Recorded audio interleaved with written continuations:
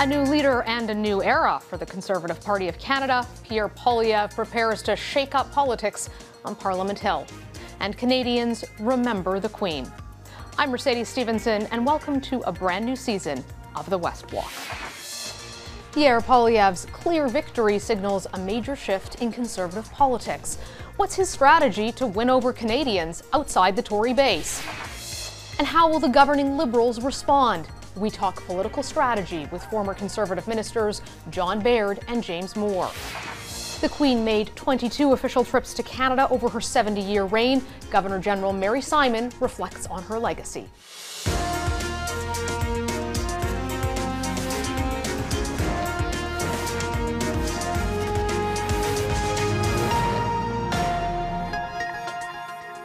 Pierre Poilievre is the firebrand new leader of the Conservative Party of Canada, who won the leadership in a complete landslide. His style brings a major shakeup to Parliament Hill. Poilievre's campaign clearly resonated with the Conservative base. He signed up a record number of new members and he appealed to people who were fed up with the rising cost of living, labor shortages, and vaccine mandates. And while Poilievre has promised a return to Conservative principles, he's also floated unconventional ideas like replacing the governor of the Bank of Canada. Now, Poilievre must transition from the fight to lead the Conservatives to convincing Canadians that he could be Prime Minister. Canadians are hurting, and it is our job to transform that hurt into hope. And that is my mission.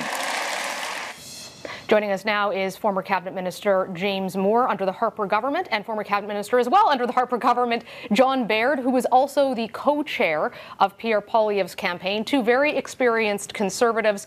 A lot of folks are looking at this and saying, is it Harper 2.0? Is this a total difference? What's the approach going to be? John, as the co chair of the campaign, I'm sure you have some insight into this. What can we expect to see from Mr. Poilievre as he transitions into this role now as the leader of the official opposition? You know, I think a strong and effective uh, and loyal opposition uh, makes the government better. And Pierre's going to be working awfully hard to make this government better. He's going to hold them account from day one. And uh, then over the period between now and uh, election day, he will uh, come forward with a series of proposals uh, to present to the Canadian people of a new option, a better option. it's not just good enough to to throw the bombs out. You need to replace them with a strong and effective government. And I think that's the case Pierre will be making between now and election day. James, what has to change between past conservative leaders like Andrew Scheer or Erin O'Toole and the ideas they proposed, which, which didn't resonate with Canadians, in two consecutive elections for Pierre Poilievre to bring potential success to the Conservatives? One of the virtues of Pierre's leadership is that he's been in politics for some time, which is to say, he has seen success and failure through the course of his political career. And I think, you know, he will draw upon those lessons and things that worked and things that didn't. But I think the biggest and most important thing is the posture in the sense that, you know, politicians often think about, you think that politics is about them, their ideas, their pet projects, their passions. And voters tend to think that elections are about them and their ideas. And the voters are right. It's about them and their ideas. And I think one of the reasons why Pierre had success in the campaign is that he didn't go out like you see very often happen in leadership campaigns, which is somebody comes out and says, I would like to be your prime minister. I would like to be your leader. Here's my resume. Here's why I'm such a great person. No, Pierre from the very beginning talked about the public's issues as he saw them, and he tried to connect and try to reflect back to the public what their principal anxieties are. And after he became leader of the party, you know, he went straight to the issues of cost of living, the economy, inflation, frustrations that Canadians have about being able to make ends meet or owning a home. Those are real core bread and butter issues that every public opinion piece of data that, that is out there shows those are the number one issues that Canadians are concerned about. And if Pierre focuses on that, I think he'll find a, a very, very big audience beyond the conservative base. I would echo what James said. This is Pierre's campaign was incredibly successful. He was able to reach out and communicate with people in a way that I've never seen before in Canadian politics. Uh, I've never seen rallies uh, outside of a general election campaign with thousands of people in every region of the country. Uh, I've never seen him connect on the issues uh, with, uh, particularly with uh, young people and new Canadians. and this, this, the success of the campaign was really about one thing: it was about Pierre and his message to to Canadians that help us on the way. Uh, that uh, he uh, he hears their frustrations, he hears their concerns. At the same time, uh, hears their hopes and aspirations for a better life for themselves and their family. John, you know, I think there's no question. I mean, he had an incredibly successful campaign, over 300,000 new memberships. That that's a record. But some of the things that he talked about that helped to raise the money and sell the memberships are things. Uh, that might not resonate so well with Canadians in the suburbs, talking about support for the convoy, uh, calling vaccine mandates vaccine vendettas, talking about introducing Bitcoin as legitimate currency, replacing the governor of the Bank of Canada, uh, the World Economic Forum conspiracy theorem stuff. I, I mean, this is something that Prime Minister Harper went to all the time. And now you have a former Harper minister uh, portraying it as people who are trying to rule the world. These things could potentially be problematic for him. How does he balance the people he. Go ahead. Let's deal with a number of these. Firstly, he never said he would replace uh, the Canadian dollar as a, as a with another form of currency. The Canadian not replace, but that he'd introduce it as we should look at Bitcoin. You used the word replace, so I wanted to correct you on that. Uh, listen, the convoy was a protest that lasted a few weeks. Uh, that's uh, long over now. I think an illegal one. Pierre was listening to the uh, to the concerns that uh, uh, Canadians were expressing, not just uh, frankly in the convoy, but from coast to coast to coast. Uh, there is a fatigue on the vaccine mandates. There's one rule for the uh, the prime minister and another rule for everyone else. and I think I think he speaks for the vast majority of Canadians that the, whether it's the ArriveCAN app or whether it's um, you know the Pearson Airport hiring masking police, mask police uh, to harass people when they come in uh, to travel. Uh, and I think you know he was able to uh, he was able to get his message across. He's a very effective uh, communicator, and elections are about the future. They're not about the past. And that's something important. I'd say this as well. One of the brightest minds in Canadian politics in my lifetime is former Prime Minister Brian Mulroney. And Brian Mulroney said to me once, "You know why I won? People were tired of Trudeau. You know why Chrétien won? People were tired of me well, I think Canadians are getting very tired of this prime minister and, this government, and uh, that'll be a big part of the next election campaign. Uh, it's time for them to go, and here's a better leader and a better team with better policies to replace them with. I, I, believe Brian Mulroney also said you dance with the one that brung you, which comes down again, James, to, to how do you balance sort of um, this flirtation at times with a fringe things that, on the other hand, resonated with lots of people, and then transitioning that to a general election. Because as we know, what wins you the conservative leadership isn't necessarily what wins you a general election. And to John's point, sometimes it's just about voting out who's ever in, and it doesn't matter so much who it is or what the ideas are on the other side. But is this going to be a, a difficulty for Pierre that he's going to have to confront the things he said that no doubt the Liberals are going to be trying to shove out and attack ads? Look, nobody in, in, in, about a century has won four elections in a row.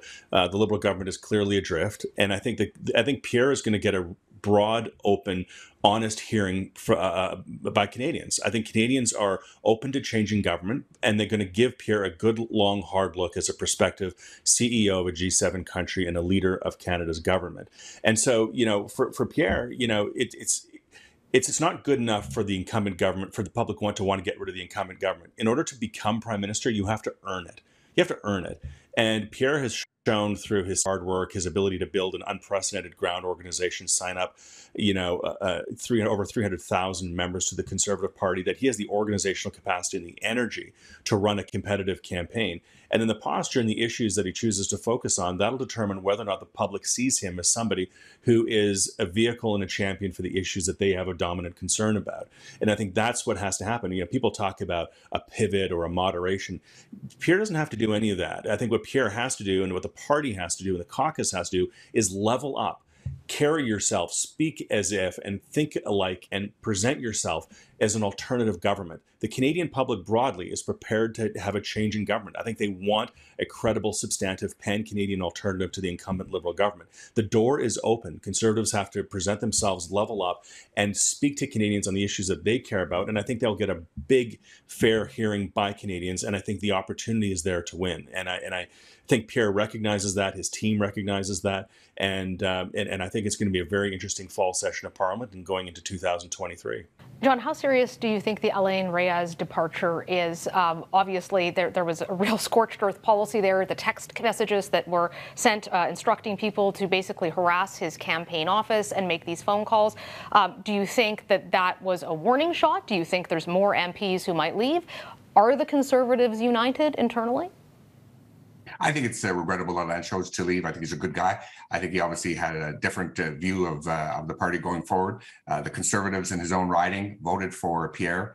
Uh, and that's something we should note of. I think that he'll be a one-off. Uh, Pierre had a very good meeting with the Quebec caucus. Nine of the ten of them showed up. Alain was not one of them, and I think they, they they'll be a, a vital part of of our team, whether they supported Pierre or not.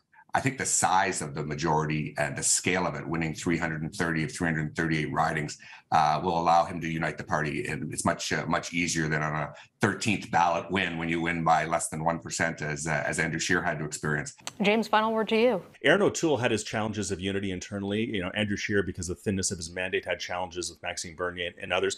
But also Stephen Harper. We forget Stephen Harper had his challenges in the early days when he became leader of the Conservative Party. You know, there were four conservative, progressive conservative senators who kept the brand going. You know, Rick Borotsik was a MP and a House leader for the Progressive Conservatives. He broke away and went back to Manitoba. Scott Brison and Keith Martin crossed the floor. John Herron from from uh, New Brunswick he crossed the floor.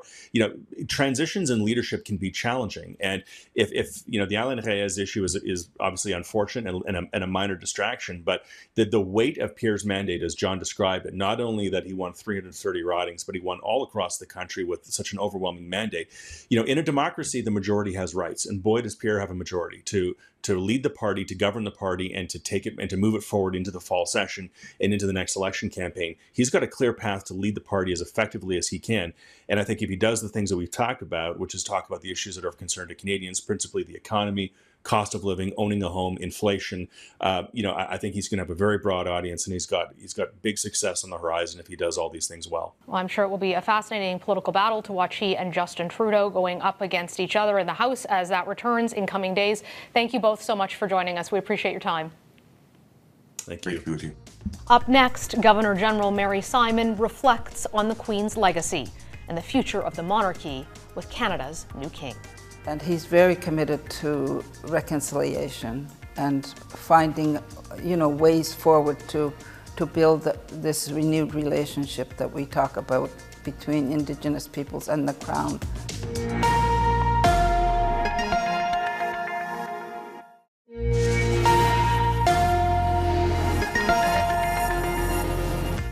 After a remarkable period of mourning, the Queen's State funeral is being held tomorrow at Westminster Abbey.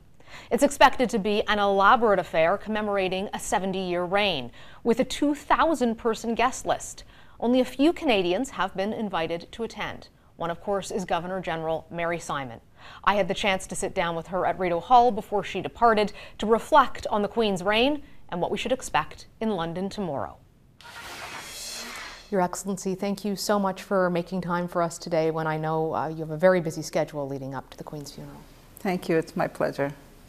I know that in a previous conversation we had, you shared how much you'd admired the Queen, even as a young girl growing up. You'd looked up to her and you had the opportunity to meet her when you became the Governor General. Now, upon her death, when you reflect on her reign and on your opportunity to spend time with her in person, what stands out to you? Well, it's been a very um, difficult week in, in many ways because at the same time that we're mourning her, her death, uh, we are also celebrating her leadership over the last 70 years. So it, it can be challenging in terms of trying to, you know, find that balance and, and be able to appreciate her as a, as a human being, as an individual. And uh, it's been sad. Uh, sometimes I have happy moments remembering the times I have met her and how kind and calm she was. Uh, so it's, it's, it's a mixture of, of feelings. What advice did she give to you, if, if any? I know she was renowned for the wisdom that she would share with people after having been in her position for so long. Did, did she talk to you about being the Governor General of Canada and anything that she thought would be helpful to you? Yes, she did. In fact, uh, the first time I met with her after my installation was by Zoom, so we had a, we had a chat. You're, you're taking over a very important job. And uh, we talked about the work that I was undertaking and, um, and the work that I have done over the last 40 some years.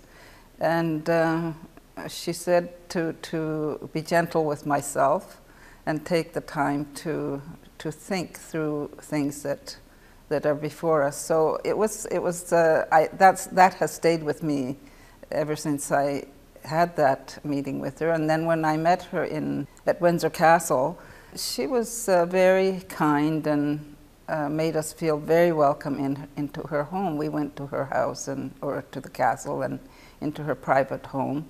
And uh, we talked a lot about what was happening in the world and also about her family. She talk, told us about her family. So it was, it was a, it was a very calming experience, and both my husband and I felt that it was a once in a lifetime experience for us and a very uh, inspirational experience for both of us. There are very few people alive today who remember a time before the Queen. She is the only Queen that most of us have ever known, um, and we don't remember what happens when she dies. I know you're going to London for her funeral. Can you tell us a little bit about what the role of the Governor General is at the funeral and, and what you're going to be doing in London? I'll be um, participating in some events. Um, there will be a session with uh, King Charles III with the Governors General of the Commonwealth. And uh, also, there will be other events where we can um, perhaps uh, get together and just uh, talk about the legacy that Her Majesty has left behind for us to to, to learn from, uh, uh, continue, our, continue our learning from her own experience. And these are really, like, I think, important events leading up to the funeral. Uh, at the funeral, I'll be representing uh, Canadians in my capacity as Governor General. And I will also uh, be able to talk to the King about the condolence that we have, we are conveying to him and his family. And I think that's the kind of thing that I'll be doing. Um, the biggest part of what I've been doing since the, the death of, the, of Queen Elizabeth is here in Canada. Uh, we had to have a cabinet meeting and proclaim the King, King uh, Charles III. And uh, also, we've had um, different events happening here. We had the condolence book, and a lot of Canadians have have come here to sign the condolence book and, and leave flowers and notes and uh, the kind of thing you see that's happening in London is also happening here. And I know that other governors, uh, lieutenant governors of the provinces have also uh, been doing different events uh, to honor and remember the late Queen uh, Elizabeth. Uh, so these are things that that we don't normally do, and it's something that's never really been done uh, since we've all been on this earth. It was some 70 years ago that it happened when Queen Elizabeth became queen. Uh, so it's a new experience for all of us, and, and to carry the, the responsibility of making sure that things are going smoothly in terms of the, of the evolution of who, you know, that the king is taking over the role of, of, the, of the late queen.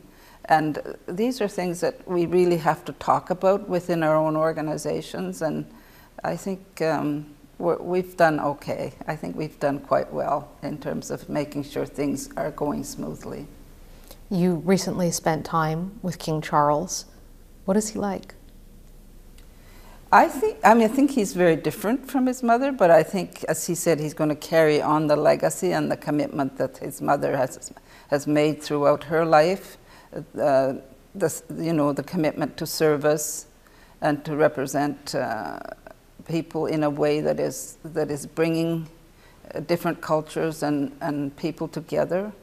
I think this is something that he is committed to. And when, I was, when he was here, um, we had a lot of opportunity to talk about Indigenous issues.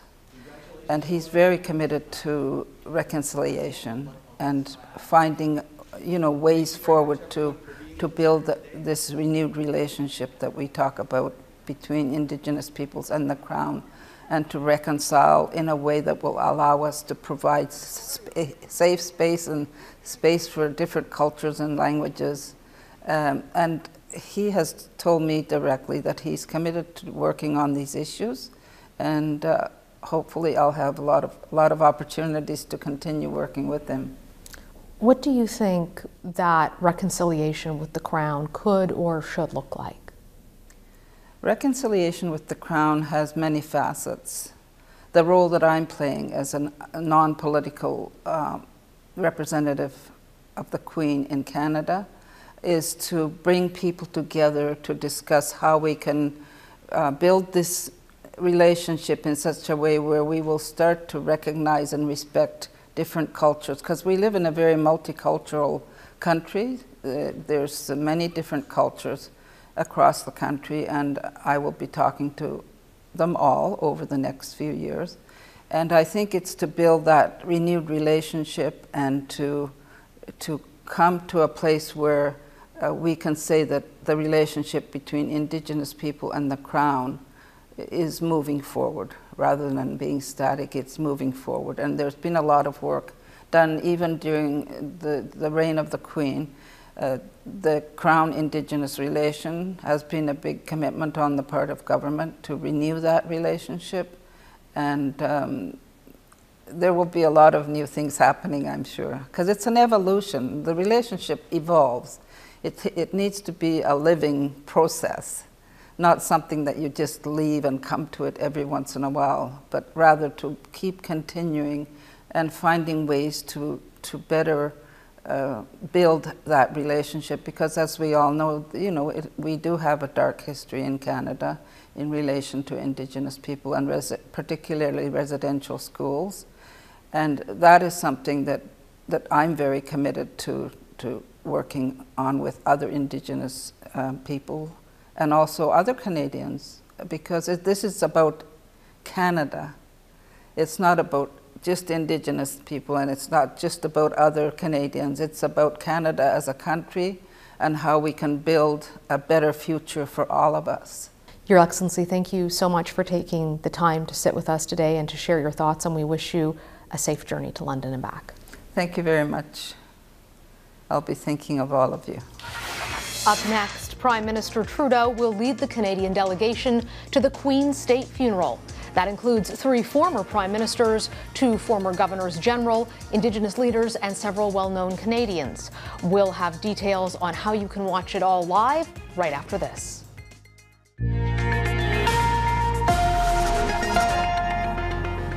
Queen Elizabeth will be laid to rest tomorrow following a state funeral at Westminster Abbey in London.